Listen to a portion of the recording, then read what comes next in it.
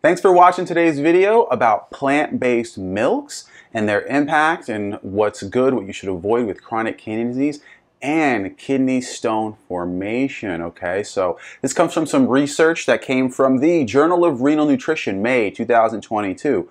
Plant-based milk alternatives and risk factors for kidney stones and chronic kidney disease. So a really interesting study. Okay, they talk about the different milks and the impact which we'll get into. If you're new to our channel, I'm Robert Galarowicz, uh, kidney disease survivor, been living with a transplant for a long time.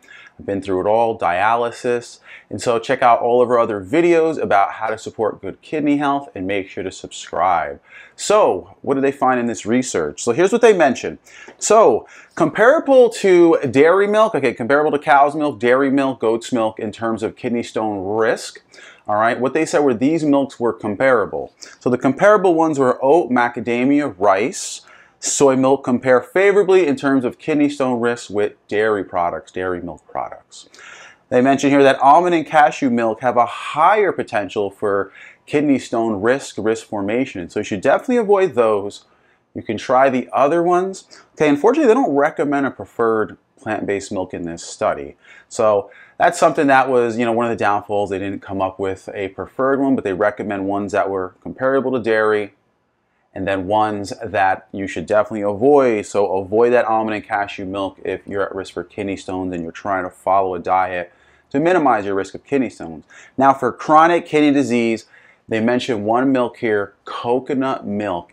They recommend that this is what they recommend as the best plant-based milk for kidney disease.